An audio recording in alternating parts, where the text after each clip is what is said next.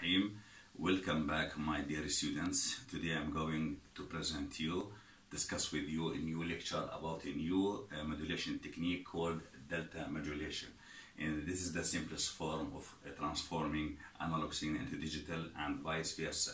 In this type of modulation, the incoming message signal M of T is oversampled at rate at rate much higher than the Nyquist rate in order to increase the correlation between the adjacent samples. So the output of the delta modulator will be a circa a staircase approximation of the oversampled message signal. So we are talking about the analog signal, which is about M of T here, the line here, the curve. Then we have the staircase approximation. We have this the, the, the called delta or condyle interval. This is the TS.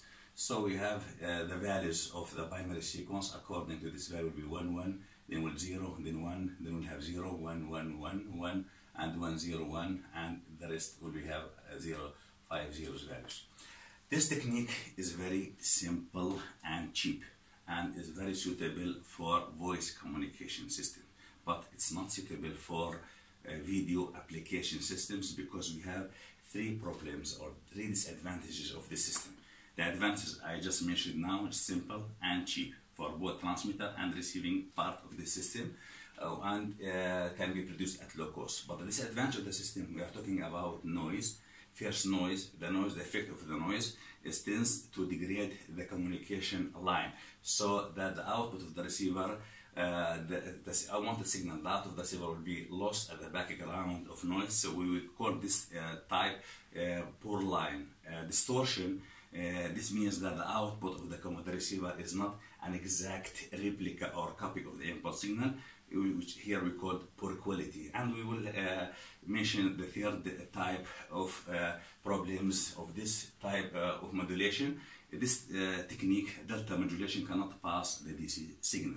For the voice communication, it's not a problem, but if we are talking about another application like video, for brightness, we have to transmit DC signal.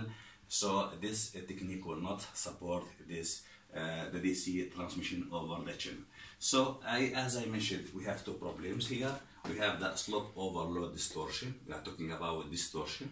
We, we can uh, uh, see here that the, income, the input signal, this is the curve called the input signal, is changing faster than the output of the integrator. So uh, it, it, uh, the delta here is very small and cannot catch the changing of the input signal at this part, changing uh, very large value of the input signal, but the output of the integrator is our delta is very small and cannot catch the changing of the input signal. And the other problem is noise, random noise. We have flat uh, input signal, but we have here uh, delta is large, changing without the changing of the input signal. This is the two problems that we are facing in this technique. I'm going now to demonstrate you the uh, block diagram of the transmitter of the delta modulation. Is here we have the, uh, the input signal M of T. Here we have voltage comparator. Then we have uh, the D bistable device uh, applied uh, by clock input. Then we have a level changer and the integrator, and we have the back through the inverting input. If the non-inverting input of the voltage comparator is more positive, then we will have one output of the voltage comparator. If the inverting input is more positive, then we have zero. Then the D bistable device, if we have one input here, uh, value one or zero, depends on the input signal, and we have a clock, it will store or pass the same value. So we have, uh, if you have one here, the output will be one. If you have zero, the output will be the same value, which is zero. This is the output, our transmitted data sequence. Then we have level changer. Level changer, uh, the main function of level changer is just to change one uh, uh, logic, which one output, which corresponds to plus five volt uh, level, in order into plus four volt, and uh, zero, uh, which corresponds to zero volt level, changes it to to plus four volt. So we have the here the integrate the uh, the uh, output of the level changer. We're talking about plus 4, uh, 4 volt and minus 4 volt.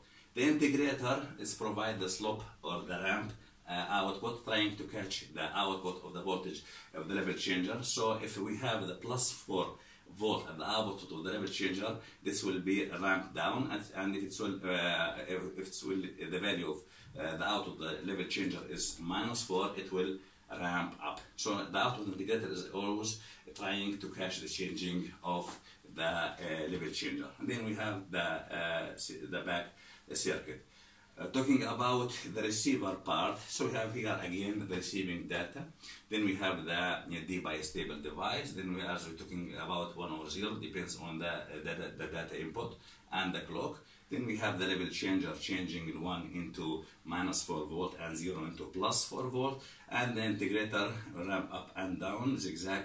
This will uh, called the delta according to the input signal. If it's uh, the input output of the level changer plus 4 volt, means ramping down. If it's uh, uh, minus 4 volt, to ramp up. And here we have the low pass filter in order to smooth the output signal and to to remove the, uh, the ripple or the, uh, the level which is at output of the level change in order to have a smooth output signal.